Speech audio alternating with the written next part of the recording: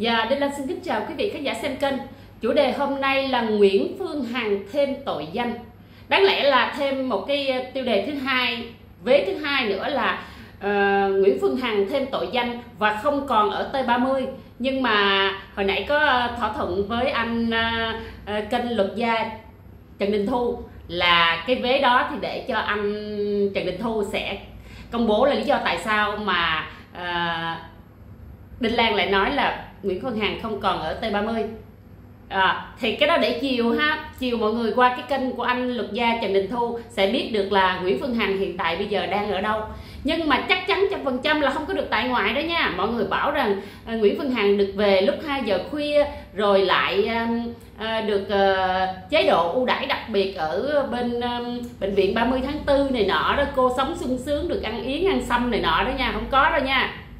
À, việc lý do tại sao mà Nguyễn Phương Hằng thêm tội danh?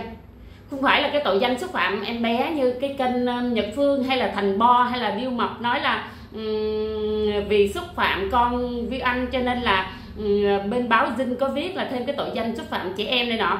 Trời ơi bây giờ có hàng trăm Vi Anh hay hàng trăm Đinh Thị Lan hàng trăm Đức Thiển hàng Ni cũng chả sao. Nhưng cái tội danh thêm tội danh này là tội danh gây rối trật tự công cộng. Bà con phải biết một điều rằng khi xử Trang Nimo hồi hôm qua hôm kia ngày 16 tháng 7 à, sáng tháng 11 thì đồng nghĩa với việc rằng sau khi phiên tòa xét xử Trang Nemo sẽ tuyên án ngày 22 tháng 11 xong thì sẽ tới Võ Minh Điền. Võ Minh Điền cũng là gây rối trật tự công cộng mới xảy ra cái tình trạng ngày 9 tháng 2 tấn công Đinh Thị Lan để trả thù cho bà Nguyễn Phương Hằng nhưng tấn công nhầm Đinh Thị Chiên với thương tật 20% thì xét xử vụ án cố tình gây thương tích và có tổ chức thêm cái việc nữa đó là gây rối trật tự công cộng. Thì bà Nguyễn Phương Hằng nhớ không? Trong tất cả những cái việc bà Nguyễn Phương Hằng đã gây ra rất là nhiều kêu gọi rất là nhiều người uh, tổ chức ở các địa phương. Ví dụ như là trước tòa án nhân dân thủ dầu một tỉnh Bình Dương trong phiên tòa xét xử vụ án Mai Xuân Cường chính bà Nguyễn Phương Hằng đã huy động mọi người lên đến tập trung rất là đông người. Hàng trăm youtuber uh, để gây náo loạn trước cái phiên tòa xét xử vụ án Mai Xuân Cường là ờ, cưỡng đoạt tài sản của bà Nguyễn Phương Hằng 2 triệu đồng mà do ban đầu là bà Nguyễn Phương Hằng ờ, vu khống Đinh Lan là chủ mưu cho Mai Xuân Cường tống tiền bắt cóc bé Huỳnh Hằng Hữu 9 tuổi con của Huỳnh Y Dũng và Nguyễn Phương Hằng. Cho nên là hôm đó là một sự gây mất trật tự xã hội rất là lớn xảy ra ở tỉnh Bình Dương và 15 ngày sau, ngày 14 tháng 1 năm 2022, tỉnh Bình Dương thay Viện trưởng Viện Kiểm sát Nhân dân tỉnh Bình Dương mới. Và lúc đó ngày 15 tháng 1 là một ngày hôm sau thì ờ, Đinh Lan cùng với 6 nạn nhân được cơ quan cảnh sát điều tra công an tỉnh Bình Dương thụ lý vụ án ờ, khởi tố cái việc bà Nguyễn Phương Hằng. Đó cho nên là Đinh Lan đã lên trên đó ngày ờ, cách đó mấy ngày ha Đinh Lan đi riêng lên trên đó và sự ờ, giám sát chặt chẽ của bên viện kiểm sát cùng chung phối hợp với cơ quan cảnh sát điều tra công an tỉnh Bình Dương chung với phòng kỹ thuật giám định hình sự và quay phim ghi hình ghi âm đầy đủ trong cái buổi làm việc đó có bốn năm người. Thì tất cả sáu nạn nhân như nhà báo Đức Hiển, nhà báo Hằng Ni, Đinh Thị Lan, ca sĩ Đàm Vĩnh Hưng, ca sĩ Thị Tiên Công Vinh, sáu người chúng tôi đều được Ờ, lấy lời khai để khởi tố bà Nguyễn Phương Hằng ngày 26 tháng 1 năm 2022 ngày đó là ngày sinh nhật của vợ chồng Dũng Hằng cũng chính là ngày khởi tố um, vụ án là sáu bị hại chúng tôi tại uh, cơ quan cảnh sát điều tra công an tỉnh Bình Dương và công an tỉnh Bình Dương khởi tố vụ án. Đó cho nên là những cái việc ngày hôm nay Đinh Lan uh, thằng um, Huấn Bình Dương thì nói Đinh Lan vắt uh, vắt uh, vắt đèn chạy trước ô tô. Điều thứ nhất điều thứ hai nữa đinh lan bỏ tiền ra thuê báo chí để viết bài. Để sau này lỡ khi cơ quan chức năng có xử lý đinh lan thì nói là tôi nói theo báo. Dạ báo theo tôi à chứ không phải tôi nói theo báo và tôi cũng không tốn tiền thuê. Tất cả các báo chí truyền hình trên cả nước này đều gọi điện thoại cho đinh lan theo số ở trên youtube. Đinh lan công bố rộng rãi và họ điện thoại cho đinh lan vì đinh lan là người coi như là người bị hại của bị can Nguyễn Phương Hằng. Cho nên họ điện thoại cho tôi để lấy thông tin. Và tôi là người trả lời phỏng vấn trên các báo tuổi trẻ thanh niên. Pháp luật. Rồi à, rồi ở ngoài Hà Nội báo của bộ tất cả những báo đó thậm chí báo công an nhân dân họ viết bài theo những cái cái cái tờ đơn của tôi. Chứ không phải là chứ không phải là tôi uh, tôi là người phải tốn tiền thuê báo không có à những cái đề tài vì tôi là nạn nhân của bị can Nguyễn Phương Hằng. Cho nên giữa tôi những thông tin của tôi là một cái thông tin chuẩn nhất. Còn các cái kênh youtube kiếm tiền youtube thì cứ nghe thông tin ở người này người kia hoặc là nghe luật sư hay là à, các báo viết cũng viết theo theo cái cái cái cái người bị hại là đinh thị lan. Cho nên nhắc lại thống bình dương. Còn cái thằng kiệt tấn đạt á hơn á, là hôm qua đinh lan kiểm tra thì nó thấy có giữ một bài thôi. Nó không có dám kêu tên đinh thị lan ra mà nó nói đinh thị nổ. Thì hồi nào giờ tụi mày cứ kêu vậy đó. Nhỏ hiền anh ở ở ngoài hà nội tụi mày cũng kêu là đinh thị nổ cho nên tao không biết là mày đinh thị nổ mày nói ai. Cho nên là nếu như thằng kiệt tấn đạt hồi nào giờ chửi đinh lan rất nhiều chửi uh, nhà báo đức thiện hàng đi rất là nhiều. Rồi thằng ờ, hống bình dương chửi nhà báo đức thiện nhà báo đường đi rất là nhiều. Ai bà hằng chửi ai là tụi nó chửi người đó. Nhưng ngày hôm nay nó đã biết nó xóa hết tất cả những cái thông tin mà nó chửi đinh lan rồi ok. Coi như kiệt tấn đạt cũng biết sợ ha cái chương, cái tên của chị đinh thị lan ra, nhắc tên chị đinh thị lan vô là tao quay bằng chứng. Ha, đằng này đinh thị nổ, chả biết mày nói ai. Thậm chí mày nói mẹ, mày tên đinh thị nổ cũng kệ kệ kệ mày ha, kệ tiếng đạt ha. Đó, còn húng bình dương cũng vậy. Một điều trị hai điều trị dám kêu cái từ nào mà xúc phạm hay là vu khống, thì cứ coi như mày ăn đơn để đó. Còn công an quận gò vấp, nó xử hay không xử? Họ xử hay không xử không thành vấn đề. Ta chỉ cần thu thập bằng bằng chứng thôi sau này sẽ đưa lên cấp cao hơn để xử. Tại vì dẫu giờ, dẫu gì sau này cũng chuyển hết lên thành phố Hồ Chí Minh à. Cho nên á, vụ ờ, ngày hôm nay ờ, Đinh Lan nói cho mọi người nghe một thông tin, đó là thằng Võ Minh Điền cũng biết sợ rồi, cũng biết sợ Đinh Lan, cũng không có dám mà lên cái những cái clip mà đều chửi Đinh Lan lại xóa hết. Và lên trên mạng, mở lại cái cái trang YouTube. Nhưng mà thật sự là ờ, một tuần qua nó ẩn kênh đi để để né tội thôi để để tránh tội. Nhưng mà cái cái cái cái clip mà nó chửi cái ông đại tá, mà nó nguyền rủa cái ông đại tá quân đội á, thì nó vẫn ờ, còn giữ. Nhưng cái clip mà chửi đinh lan thì nó nó đã xóa. Ngày hôm nay thì yên tâm, nhờ cái tài của luật sư của bên phía, của đinh thị lan và đinh thị chiên, chắc chắn trăm phần trăm sẽ khởi tố được võ minh điền về tội cố tình gây thương tích, có tổ chức cho chị Đinh Thị Chi ngày 9 tháng 2 và gây rối trật tự công cộng giống như vụ án của Trang Demo. Cho nên là mọi người đừng có thắc mắc vụ Trang Demo có 3% mà khởi tố dạ không. Đây là một cái làm gương cho thợ cho toàn thành phố á, cho xã hội đó là cái vụ là livestream thách thức tiền bạc này nọ lên trên mạng mà xúc phạm chửi bới ờ, rồi coi thường pháp luật là bị xử lý hết từ nay trở đi là coi như là quốc hội cũng cũng họp và nói ra cái hiện tượng mà mà, mà Nguyễn Phương Hằng rồi. Cho nên sự phẫn út ngày xưa người ta phẫn út Nguyễn Phương Hằng như thế nào? Thì ngày hôm nay người ta phẫn út Võ Minh Điền như vậy. Cho nên là chắc chắn trăm phần trăm luật sư của của Đinh Lan và của chị Đinh Thị Chiên sẽ lôi được đầu Võ Minh Điền ra chịu tội trước pháp luật. Đó khá bảnh như vậy đó mà cũng bị vô trong sọt ha rồi những cái giang hồ mạng như thế nào cũng bị cũng bị vô vô trong sọt hết. Thì võ minh điền sao? Năng vuốt bao nhiêu dữ vậy? Hinh hoang cỡ nào vậy? Còn mạo danh trưởng công an uh, quận gò vấp rồi rồi nói đinh lan dính hàng ngàn án đủ thứ hết. Công an quận gò vấp kể họ họ làm cái gì thì họ làm. Nhưng mà ở trên xã hội này còn có cái công lý còn cái pháp luật. À, việc bà Nguyễn Phương Hằng tăng nặng cái tội gây rối trật tự công cộng ở thứ nhất ở tòa án thủ dầu một tỉnh Bình Dương. Thứ hai ở ờ, tỉnh thất Bồng Lai huy động rất là đông người trong cái thời điểm dịch bệnh bùng phát. Thứ ba nữa nhà trước cửa nhà nhà báo Hằng Ni. Thứ tư nữa là chỗ An Phú Đông quận 12 chỗ nhà luật sư Thanh Trần. Đó. Thứ năm phòng trà à, Đồng Giao ở bường Baxter mấy lần ở phòng trà Đồng Giao. Cho nên Nguyễn Phân Hằng gây rối trật tự nhiều nhất, cầm đầu nhiều nhất. Thì việc ngày hôm nay xử 331 là một lẽ. Công an Bình Dương và công an thành phố Hồ Chí Minh muốn 331 về một nơi là một chuyện. Còn viện kiểm soát thành phố Hồ Chí Minh ra quyết định có thêm tội danh nào hay không. Và đồng phạm thì chắc chắn có đồng phạm rồi cho nên là thằng kiệt tấn đạt bảo rằng ờ, tôi là quan tòa online không ạ à. tôi biết được vụ việc này từ cái hôm mà tôi xuống bình dương nhận cái quyết định uh, kết quả giám định kìa mấy anh trên đó nói là bả chỉ dính một ba ba một thôi cho nên á đinh lan bắt đầu mới rất là buồn rất là buồn với cái điều rằng nếu như vậy không đủ biện pháp răng đe cho toàn xã hội thì thì cái đám youtuber này nó sẽ loạn lên. Tại vì cái đám này là cái đám toàn là đầu trâu mặt ngựa không à. Nè, nghe một giọng của một youtuber. Hình như cô này là cổ là kim ngân và cổ cổ cô cổ nói ra như thế này. Nó là một cái giải thưởng rất là lớn cho một cái giới trẻ. Nó cứ đi ăn theo bà Nguyễn Phương Hằng. Để bà Nguyễn Phương Hằng cho được 10 tỷ. Nè, nghe nè, nghe cái giọng của cô Kim Ngân này, youtuber Kim Ngân. Và cũng là tiktoker đó chửi coi như ngang ngửa bà Hằng. Nhưng mà khi chửi rồi sau này á, lại có một cái clip nữa để hồi đi Lan mở cho nghe. Đề drama này, bà Nguyễn Phương Hằng chỉ cần cho em dưỡng cho em giải thưởng. Ai là fan chính nghĩa thật sự? Chị sẽ cho tụi em 10 tỷ.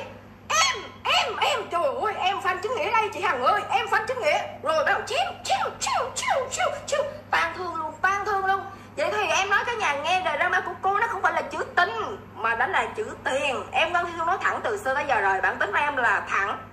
Lời nói của em ti thô nhưng mà em thật.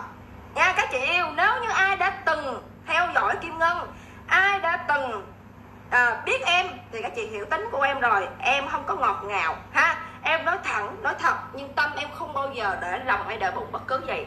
Các chị còn nhớ ngày xưa khi cô hỏi em rằng lý do tại sao con chửi còn nhiều hơn cô thì em đã trả lời rồi. Lý do là gì? Em thấy cô hằng bị lương chửi quá nhiều. Thì em bức xúc. Đó, em lên tiếng em chửi lại tụi lương. Đối với em, tụi lương là mới là người không đội trò chung với em. Chứ không phải là fan chính nghĩa cùng là một ngày anh em với nhau. Một bữa cà phê cũng là cái tình. Một ngày gặp nhau cũng là cái tình. Hà cớ gì mà đem nhau ra phanh say sẽ thịt hả cả nhà.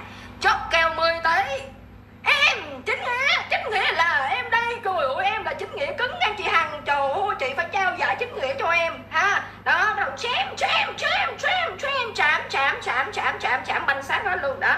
Nha, nếu mà cô hằng chạm 10 tỷ, ha, em nói các chị chỉ có một cái view, một cái like thôi mà sẵn sàng chém nhau thì 10 tỷ, ha, các chị chém chém chém banh xác luôn. Thì lúc đó xin lỗi các chị, ha à, thì lúc đó xin lỗi các chị không còn là chính nghĩa nữa mà bảy nghĩa thôi. À kim ngân nói chuyện vậy đó cả nhà cho nên là, là em làm tiktok không được. Đó thấy chưa?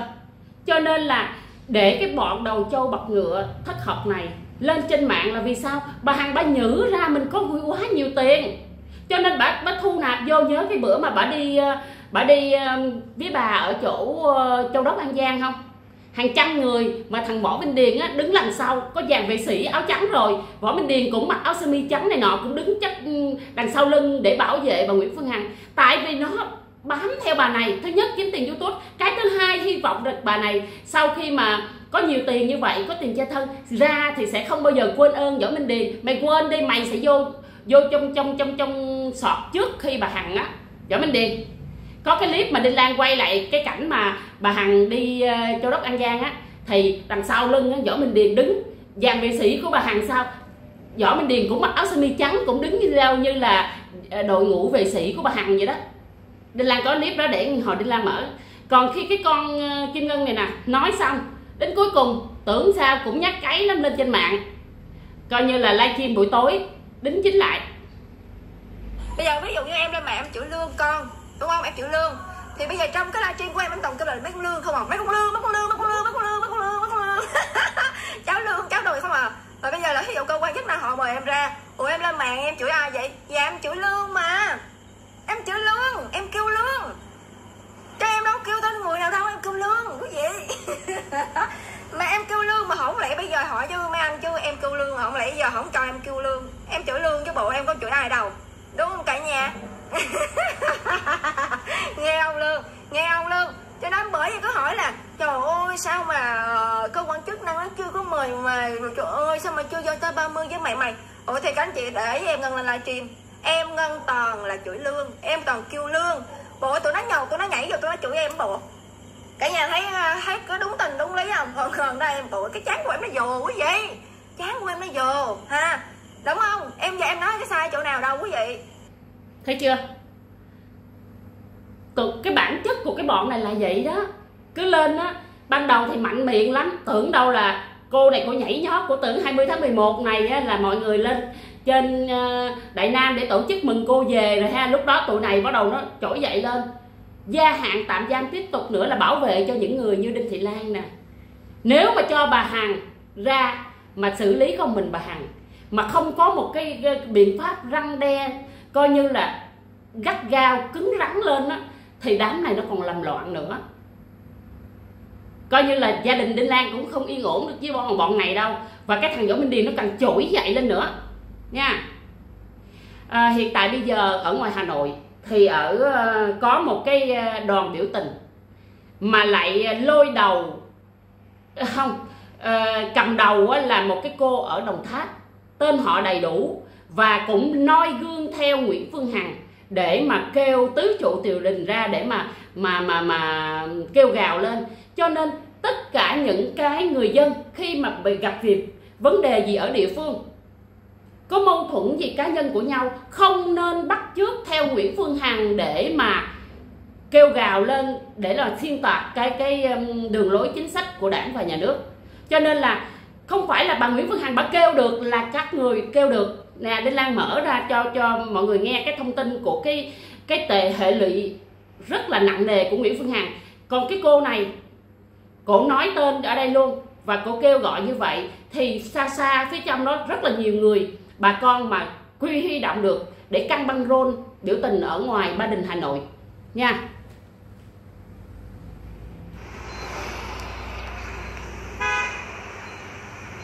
Tôi là Nguyễn Thị Thu Thủy ở tỉnh Đồng Tháp tôi qua Mai Xuân Thưởng ngay chỗ thủ đô Hà Nội á ngay chỗ Bộ Chính trị.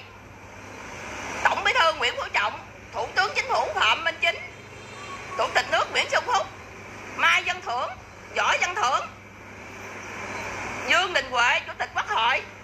Đây.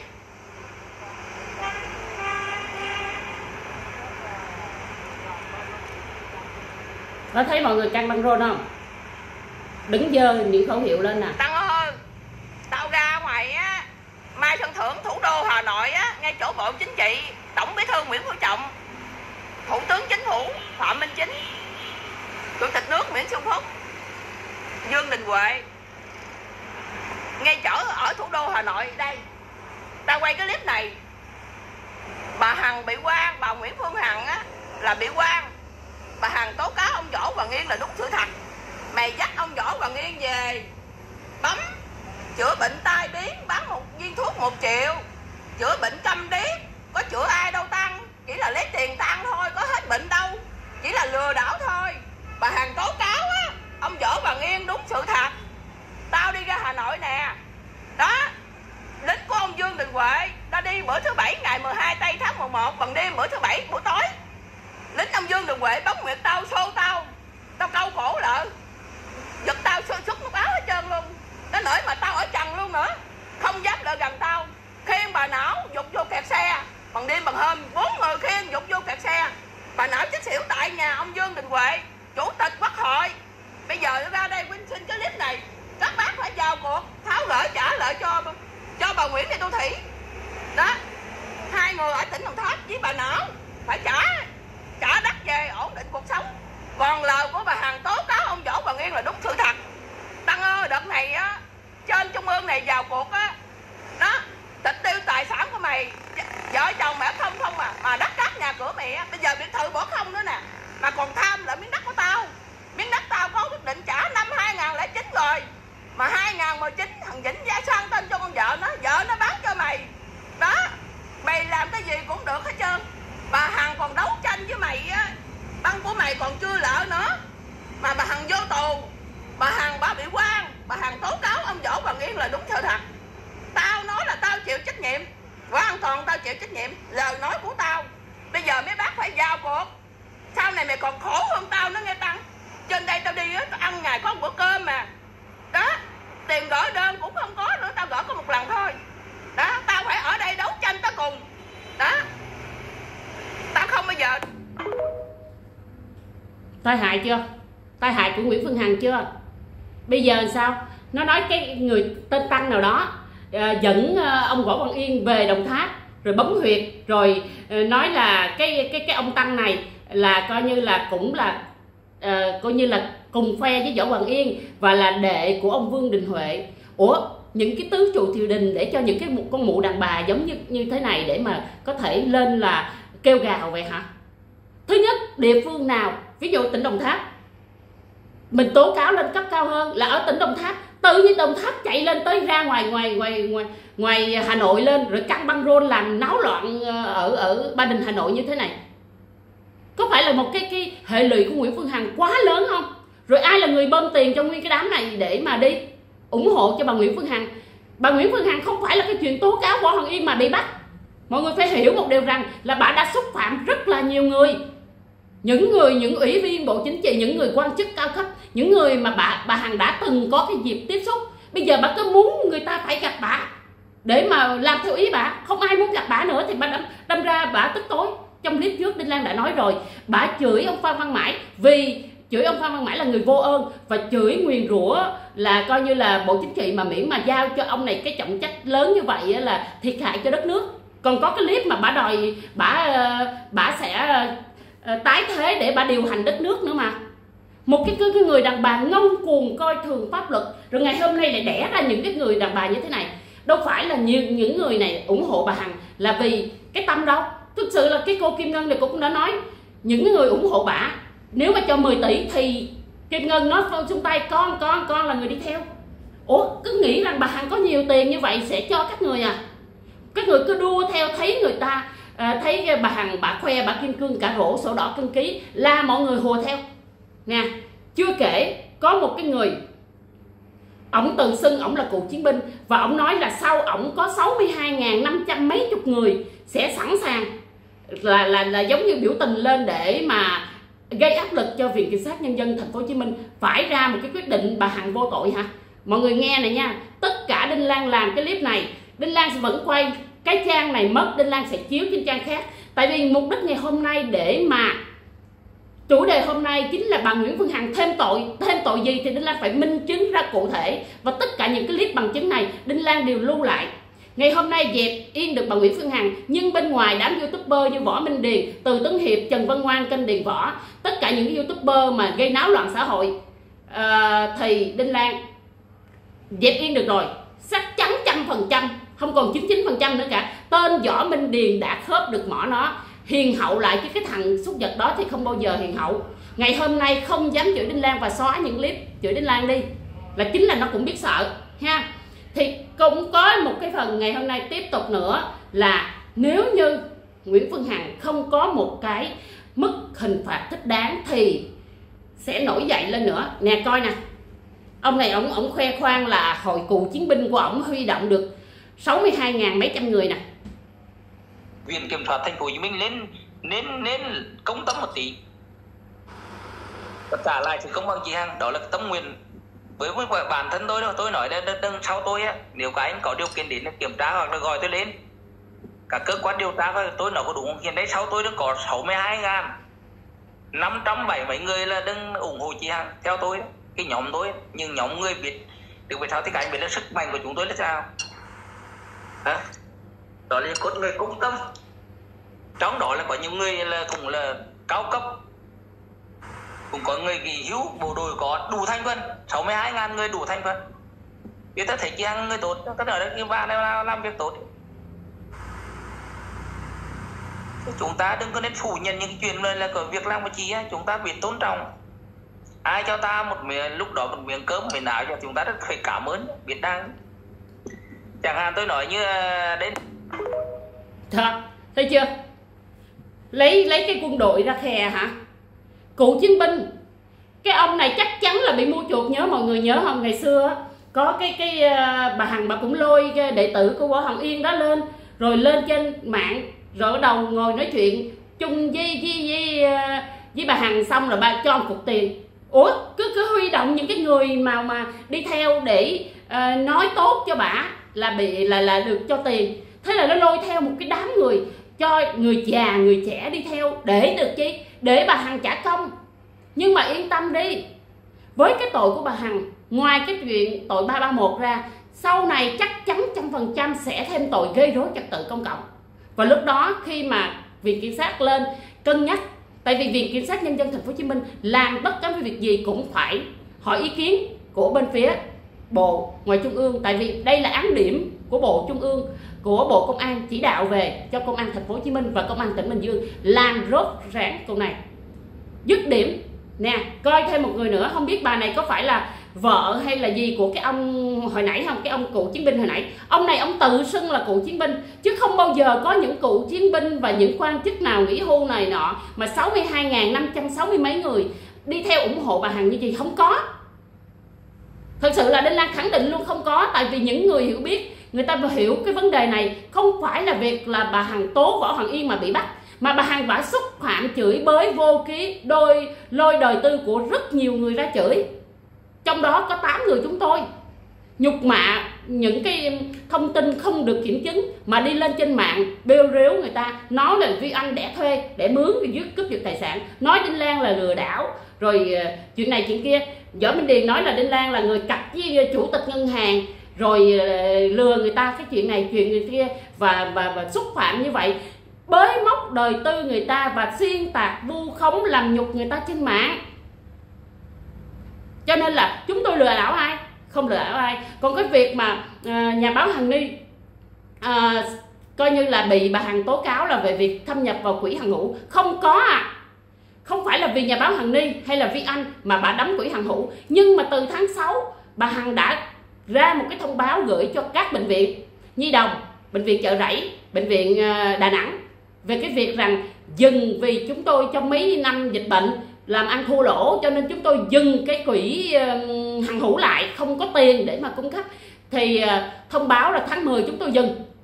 Mà tháng 6 đã gửi công văn, thì tháng 9 mới có cái sự xuất hiện của nhà báo Hằng Ni thì làm sao có cái chuyện mà tại mà, tại tại cô Hằng Ni mà mới đóng quỹ hằng hữu?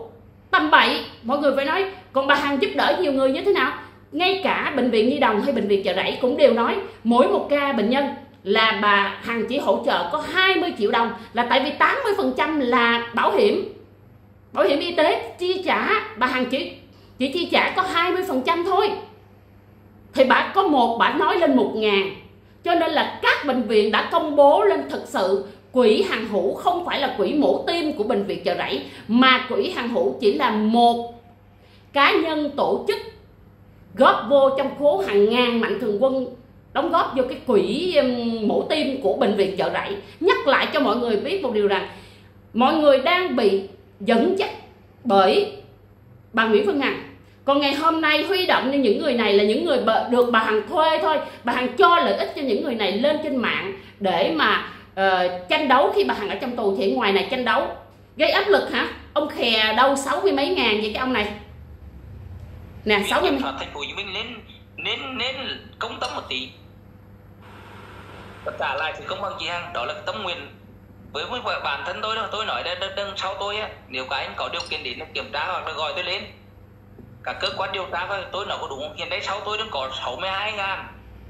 570 mấy người là đừng ủng hộ chị Hằng theo tôi. Trời khè. 62 ngàn 570 mấy người ủng hộ chị Hằng. Ủng hộ việc gì? Ủng hộ lên chửi xuyên tạc ờ, nhà nước hả? Gây rối trật tự an ninh quốc gia hả? Ủng hộ chuyện gì? Cái ông này chắc chắn trăm phần trăm là an ninh mạng họ cũng sẽ tìm ra ông này để xử lý ông này nè tầm bậy tầm bậy đi, đi tuyên truyền một cái kêu gọi một cái sự ờ, không đúng. Nếu như bà Hằng không có tội thì làm sao ngày hôm nay bà không bị chạy giam T30? Rồi thêm còn một cái mụ nữa nè. Bây giờ khi mà bà quay clip bà quay cái clip mà bắt uh, Nguyễn Xuân Phúc chủ tịch nước mà bà cứ kêu thằng này thằng nọ. Cho nên cái sự dẫn cái sự dẫn chương trình của bà là dẫn chương trình về một cái người nào đó nhưng mà lại đưa cái hình bắt Nguyễn Xuân Phúc ý của bà là gì? Bà muốn chửi cái gì? Luôn ngu ngục ơi. Cô tao á gọi đến tên ai là người đấy lên báo. Đấy. Gọi đến tên cái con buôn kim cương hạt é đấy, chuẩn bị xuất hiện lên trên truyền hình đấy là cái con kim cương buôn kim cương hạt é là sắp lên truyền hình rồi đấy. Còn cái thằng còn cái thằng già mà cứ cho con cho cháu uh, gọi mình bằng anh ấy. Thì lộ hết. ADN ra rồi đấy. Cô tao mà không vào T30 thì làm sao mà cả nước cả thế giới biết được cả thế giới đều biết được là cả thế giới biết được là cô tao. Uh, đang uh, cô tao đang đi bắt án đấy. Khi mà chiếu cái hình bắt chủ tịch nước mà cứ kêu thằng này thằng kia cái thằng già này nọ. Trời trời bây giờ cuối cùng nó chửi ai? Cái mình cái mưu mô của cái đám này nè. Là có phải là, là là tụi nó mới là phản động không? Cả thế giới biết được là cô tao uh, đang uh, cô tao đang đi bắt án đấy. Cái này cho chúng ta thì vào ngoài cho cháu nha bạn. Đấy Cô tập vào trong T30 ấy. Thì còn nhiều đứa loài mặt chó ra nhá Nhiều đứa loài mặt chó Ơ đi, để ra chào bố đi. Đi ra chào bố đi. Đi ra chào bố. Đi tao mày ra. Cô tao Cái này được mình tao à? Đang làm tiktok tí đã. Quá đang đâu bắt đầu Cô tao ấy mà đã vào trong T30 càng lâu thì lươn vào lò càng nhiều nhá. Đi chứ Ừ rồi, sẽ chào chứ, sẽ chào. Gì chứ đang làm tiktok đi trời, bà nói là là cô của tao, mặt bả còn già hơn bà hằng nữa. Mà cứ một điều cô của tao, cô của tao, vào t 30 là để bắt án. Trời trời, mệt quá. Rồi kiểu như là cái cái cái sự mà khoe khoang, cái tiền của của bà hằng đã kéo theo một lũ đầu trâu mặt ngựa. Những cái người như thế này nè, để mà ủng hộ một cách bất chấp. Thấy không? Còn mọi người bảo là thôi đi lan ơi à, sợ tụi nó trả thù. Trời ơi trời tôi đang muốn cho tụi nó trả thù. Vì sao? Vì hồi nào giờ có trả thù đi chăng nữa thì công an phường 6 quận gò vấp và công an quận gò vấp cũng đâu có xử đâu. Tôi một từ một mình bảo vệ tôi. Tôi chỉ có đương đầu với tụi nó. Ok ai muốn trả thù tới đây thà lộ mặt đi. Đừng có khuất mặt khuất mặt mình đâu có biết đâu. Thà những cái đứa như thế này nè. Ồ tôi công khai luôn. Đó là dễ tìm tại vì phải có xảy ra một cái cái cái, cái án mạng. Thì thì thì công an gò dắt mới vô mới nhảy vô cuộc. Chứ giờ để im im hoài hả? Để chìm xuồng hả? Không bao giờ chìm xuồng cái vụ võ minh điền cầm đầu tấn công chị đinh thị chương hai chục phần trăm. Chắc chắn trăm phần trăm là sẽ phải khởi tố. Đáng này. Mà xử bà Nguyễn Phương Hằng nếu mà phiên tòa xét xử bà Nguyễn Phương Hằng nặng hay nhẹ và trước hay sau thì Đinh Lan khẳng định trăm phần trăm xử Võ Minh Điền trước rồi mới tới xử Nguyễn Phương Hằng. Chứ không bao giờ có chuyện xử um, Nguyễn Phương Hằng trước đâu. Tại vì sao? Những hệ lụy của Nguyễn Phương Hằng để lại phải giải quyết dứt điểm. Còn sau này bên bên viện kiểm sát thành phố Hồ Chí Minh có khởi tố thêm về những cái cái chuyện mà uh, vụ thiệt hại của tấn công đài VOV hay không. Đó rồi vụ những cái gây rối trật tự. Gây rối trật tự công cộng ở tất cả các nơi là mất trật tự an ninh quốc gia, ở nhiều địa phương chắc chắn trăm phần trăm phải xử. Đinh Lan khẳng định là bà Hằng ngoài cái tội 331 khi mà bây giờ trên hiện hữu thì công an Bình Dương và công an thành phố Hồ Chí Minh chỉ khởi tố cái vụ tội danh 331 nhưng chắc chắn trăm phần trăm với cái tình hình xã hội hiện tại như thế này, với các cái cuồng cuộn con như thế này, những người mà mà đứng lên sau bà Nguyễn Phương Hằng nổi dậy như Võ Minh Điền thì chắc chắn xử Võ Minh Điền ở quận Gò Vấp là là một cái tiền đề để xử Nguyễn Phương Hằng về cái tội gây rối trật tự công cộng. Vì Võ Minh Điền Trần Văn Ngoan kênh ờ, kênh Quang Trần kênh Điền Võ Vlog đều có mối liên hệ với Nguyễn Phương Hằng trong thời điểm đó. Rồi à, thông tin là như vậy. Còn à, tới chiều nay thì à, à, kênh luật gia Trần Đình Thu sẽ thông báo cho mọi người biết được là Nguyễn Phương Hằng không còn ở trại giam T30 và ở đâu. Thì chiều nay thì ờ, kênh luật gia Trần Đình Thu sẽ ờ, thông báo cho quý vị, các bạn. Tại vì Đinh Lan không có kiếm tiền YouTube, cho nên là Đinh Lan muốn ờ, nhường cái phần đó cho những người bạn, những cái người mà phản biện bằng Nguyễn Phương Hằng để mà biết được thông tin, để mà cung cấp cho quý vị khán giả biết là Nguyễn Phương Hằng không ở trại giam T30, thì ở đâu. Hoàn toàn khẳng định không có việc bà Nguyễn Phương Hằng được tại ngoại về nhà hoặc là đang điều trị ở chỗ nào đó, hoặc đang sống sung sướng. Người là một bị can trong một vụ án hình sự thì chắc chắn phải bị xử lý thích đáng, chứ không phải là đi du lịch đâu. Đâu phải có tiền là có thể được ở ờ, những nơi ờ, sang trọng và đi tù mà mà mà được sướng đâu. Không có đâu. Đi tù chính là một biện pháp trừng trị thích đáng những kẻ xem thường pháp luật như bị can Nguyễn Phương Hằng. Tôi là Đinh Thị Lan, nhà ở 140 trên 22 đường Lê Đức Thọ, phường 6, quận Gò Vấp, thành phố Hồ Chí Minh, Việt Nam. Tôi có số Zalo 0931208805. À, à kết thúc câu chuyện thì à, hồi hôm qua có một bạn comment là à, Đinh Lan triết lý như vậy á mà bị cái à, cái người Việt kiều Canada lừa. Không ai lừa ai hết. Ngày xưa bà Nguyễn Phương Hằng nói mình lấy chồng Canada năm 16 tuổi. Thì Đinh Lan muốn nhờ người bạn của mình. Anh ấy ở Canada để chứng minh một điều rằng nếu như thực sự bà Nguyễn Phương Hằng có ở Canada và đã từng lấy chồng và đem 18 triệu đô về Việt Nam, thì ít đưa ra bà có một tấm hình nào đó để mà chụp hình phong cảnh của Canada. Nhưng lúc đó Đinh Lan trong thời điểm là cả một năm trời, Đinh Lan thường xuyên coi như được người bạn đó cho đi tham quan và chụp hình tất cả những cái cảnh ở Vancouver, Canada. Thì Đinh Lan đưa điều đó chỉ để phản biện bà Nguyễn Phương Hằng. Ngày hôm nay anh ấy bị bị ờ, Covid trên cái nền của ung thư phổi thời kỳ cuối cho nên là khả năng sống chỉ còn có 30%. Nếu mà đổi môi trường ở Vancouver và về Việt Nam á thì sợ cái không khí môi trường vi khuẩn tất cả mọi đó những cái vi sinh vật hồi đó nó đã quen với con người của ảnh mà ảnh về Việt Nam thì ảnh sẽ bị bệnh nặng hơn. Cho nên đó là lý do tại sao mà uh, Đinh Lan có lần nói là 3 năm nữa anh ấy mới trở về hay như thế nào nhưng với chúng tôi cũng là bạn. Cho nên không bao giờ có cái chuyện anh ấy lừa tôi hay là là có cái chuyện gì. Tôi vẫn bình thường cuộc sống của tôi vẫn bình thường. Các bạn ở các nước trên thế giới khi mà người ta về Việt Nam người ta biết tôi thông qua vụ bà Nguyễn Phương Hằng thì về tôi vẫn đón tiếp bình thường. Cho nên hoàn toàn đức độ và cái uh, tôi đã nói rồi tôi có anh người yêu 12 năm. Và chúng tôi cũng đã từng sống chung với nhau ở bên Lào được 3 năm. Đó cho nên việc còn lại là không có người đàn ông nào có thể tốt hơn người yêu của tôi người yêu của tôi đúng là chủ tịch ngân hàng chủ tịch những công ty bất động sản rất lớn ở Việt Nam nhưng anh ấy ẩn danh. Và tôi muốn giữ cái cái cái um, một cái sự riêng tư cho anh ấy và tôi không công bố anh ra. Cho nên là việc mà mọi người tôi có người yêu cho nên là tất cả các um, các nước các bạn các anh về thăm. Tôi nói chuyện bình thường thậm chí là dẫn đi để mà đầu tư các nơi nhưng mà hoàn toàn không có cái việc mà um, bậy bạ gì hết. Tại vì đạo đức hay không bản thân mình biết. Tôi không có cái chuyện mà đi lên trên mạng khoe khoang là mình có nhiều người đeo đuổi hoặc là anh này anh kia. Không có. Tôi không có ai cả. Tôi có duy nhất một người đàn ông yêu thương tôi hơn bản thân mình. Đó chính là người yêu 12 năm của tôi. Và chào mọi người.